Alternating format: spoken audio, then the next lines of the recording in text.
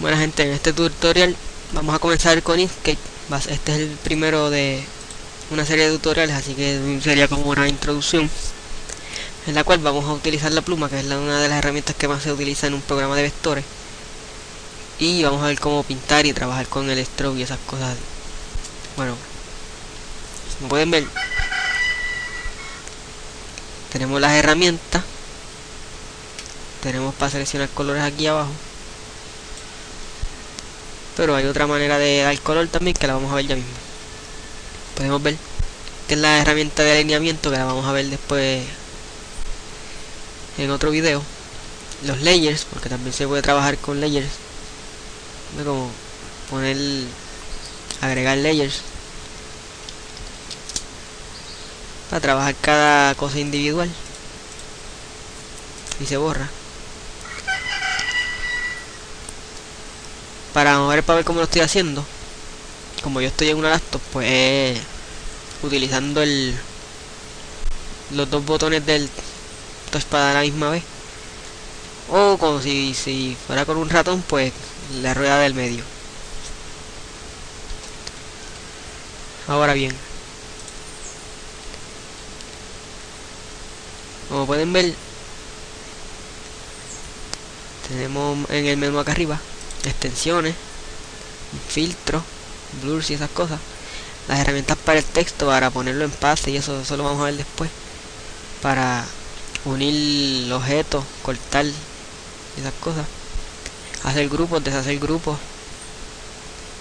Las opciones de los layers. View, donde está lo, lo del grid, que esto lo vamos a estar utilizando. Ya saben que tienen que habilitarlo aquí, View, Grid. View, la guía yo tengo unas guías puestas alrededor del papel que cuando lo le doy para que no se vean pues no se ven.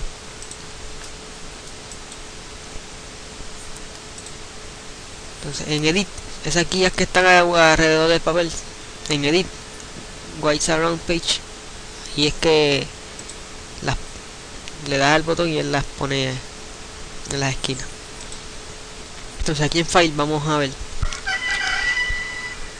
Podemos utilizar esta opción para exportar el dibujo, el papel o lo que tengamos seleccionado a un PNG. Entonces vamos a ver aquí en propiedades de documento. Podemos editar el tamaño de la hoja del papel. Si lo queremos portrait o landscape, podemos insertar el tamaño manualmente y los tipos de medida, píxeles, pulgadas y esas cosas. Editar las guías, los colores el tamaño del grid, el snap, el color management que es para añadir, para agregar perfiles de colores. Ahora vamos a a comenzar.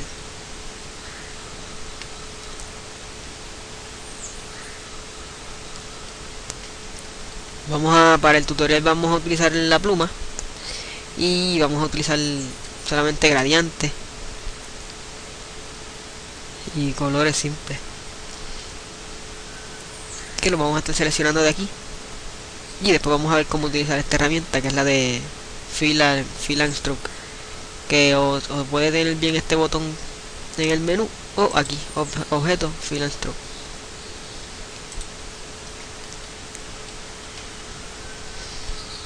bueno la mejor manera de uno ilustrar o hacer un vector de algo es trazándole por encima. Así que para que quede lo más parejo posible vamos a seleccionar todo el dibujo este. Lo voy a seleccionar para hacerle un grupo. Ahora es uno solo. Ahora lo puedo mover. Porque sí vamos a deshacer el grupo ahora no es un grupo y si yo muevo cualquier cosa, pues se mueve individual cada cosa.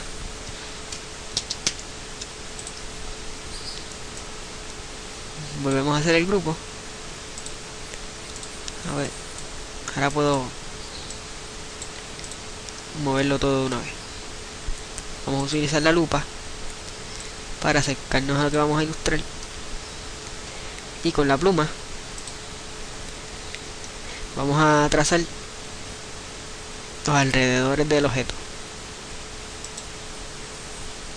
Como ven, puse un punto y cuando muevo el cursor se queda una línea recta. También se pueden hacer estas curvas con la pluma, por eso lo vamos a ver ya mismo.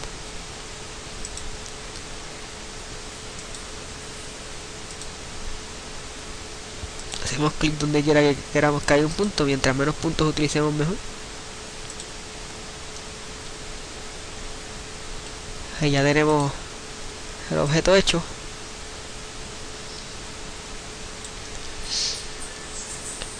Como ven, vamos a darle un color. Vamos aquí, seleccionamos el rojo.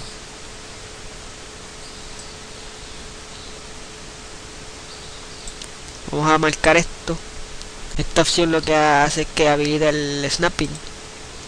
Que lo que va a hacer es que, como ven, hace snap, se busca las se pega en una de las esquinas del grid. Ahora vamos a dibujar esta otra parte del logo, del supuesto logo que estamos utilizando para el tutorial. Seleccionamos la pluma de nuevo. Oh, déjame quitar el snap. Ahí.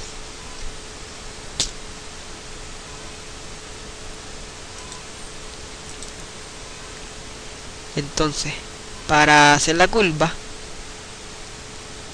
lo que vamos a hacer es que vamos a dejar el clic presionado y vamos a arrastrar el cursor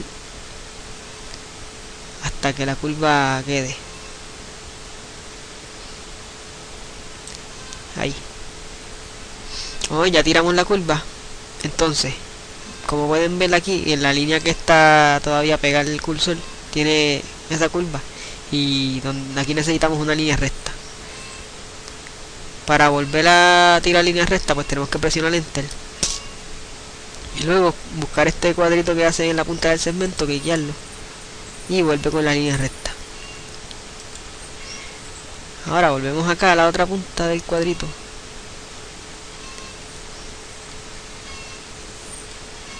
Y hacemos el otro la otra curvita aquí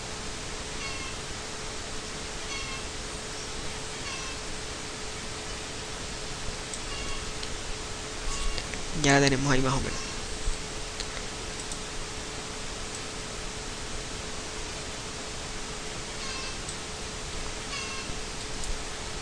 Un poco deforme pero no importa. Entonces la seleccionamos y vamos aquí y le damos un color. Como pueden ver esto aquí también se, se cambia pues, porque ven que es el fil es el relleno de adentro y esto pues es el borde. Como ven acá no lo tiene. Vamos a ver ya mismo cómo eliminarlo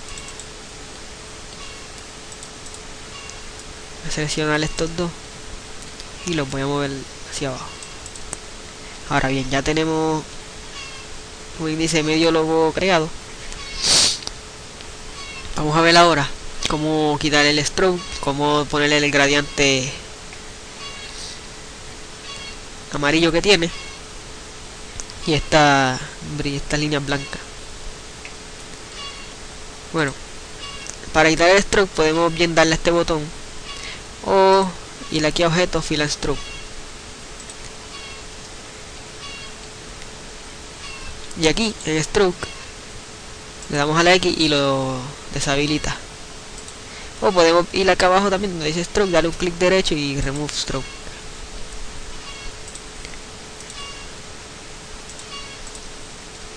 ahora vamos a seleccionar esta parte del, de la ilustración podemos para duplicarlo podemos hacer control D en el teclado o dar un clic derecho y duplicar. Como pueden ver hice una copia de del objeto que teníamos creado. Pues a esa copia vamos a darle un color amarillo. Y para crear el gradiente ese vamos a ir aquí a fill y vamos a seleccionar este gradiente que es el lineal. También tenemos el circular y para aplicar patterns a, los objetos pero vamos a utilizar vamos a quedarnos con el lineal. Entonces con esta herramienta que es para crear y editar los gradientes vamos a mover los puntos para que quede como queramos el gradiente. Ahí bien. Seleccionamos este otro objeto, lo duplicamos, lo volvemos a pintar amarillo y le aplicamos el mismo tipo de gradiente.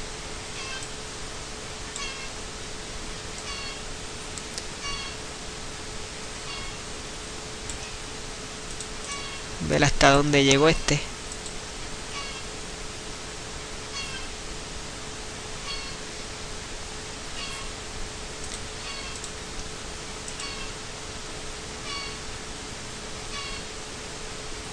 Vamos a dejar este hasta aquí.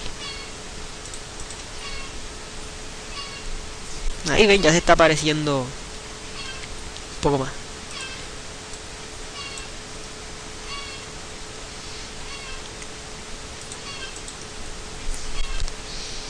Si quieren, como yo lo dejé así, pues con esta herramienta, como ven, si, hacen clic en el objeto, pueden editar los individuales los segmentos.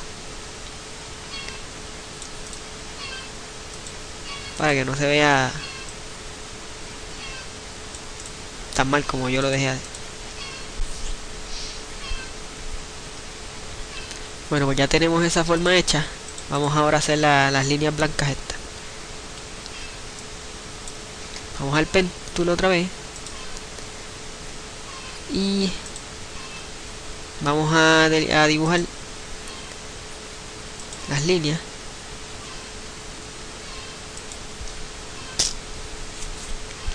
Como en la hizo negra. Vamos a ir aquí fill, fill stroke paint.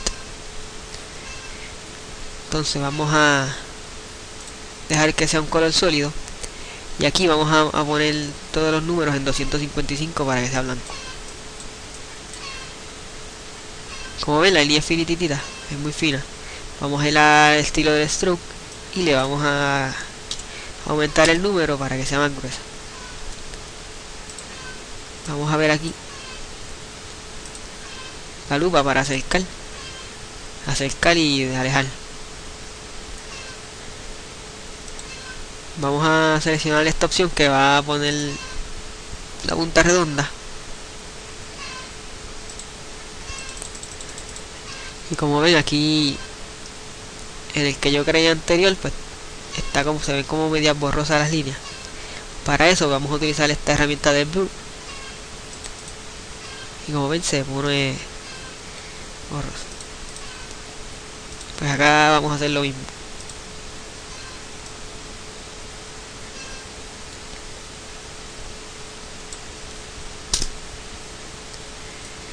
aquí aumentamos. Esta redonda. Y le ponemos blanco.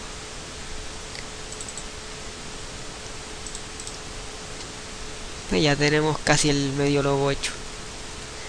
Para este segmento que está aquí abajo vamos a seleccionar el pen de nuevo. Tiramos una línea recta y le vamos a dar un color rojo oscuro.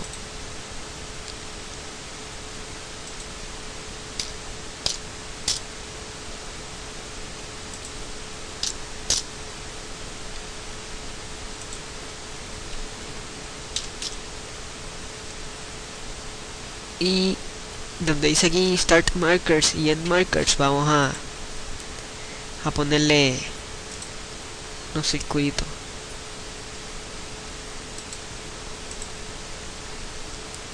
quedaron grandes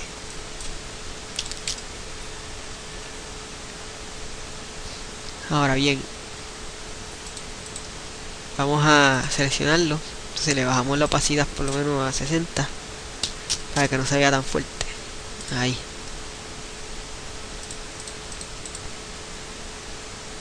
Esto tenía que abrir. Y como ven, pues ya se está apareciendo más el de arriba. Ahora. Vamos a agregar el texto.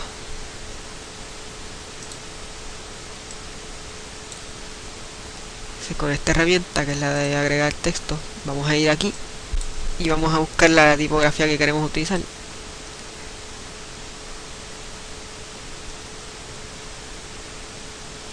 si me acuerdo cuál fue la que usé.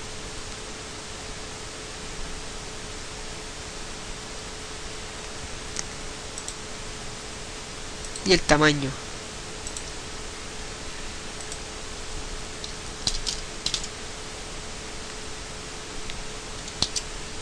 El tamaño está muy pequeño.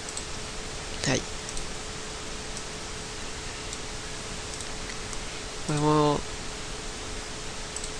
como pueden ver aquí tenemos para alinear a la izquierda alinear al centro alinear a la derecha justificar. Si queremos la letra bold o italic si queremos el texto horizontal o lo queremos vertical. Ahora pues ya tenemos el texto creado vamos a darle color rojo también. Y lo duplicamos. Entonces a la copia le aplicamos el mismo gradiente amarillo como se mostró anteriormente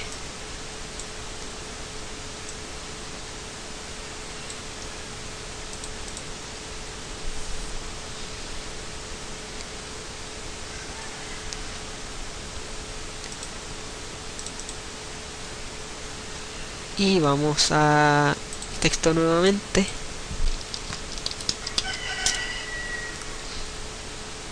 Y escribimos el otro texto. Déjame quitar esto porque estaba bol y estaba itálico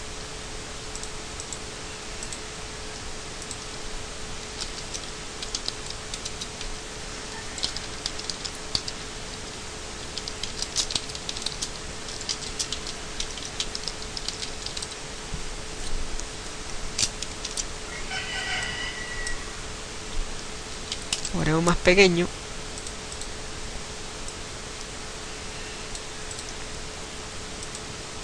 Y hasta ahí. Como pueden ver ya tenemos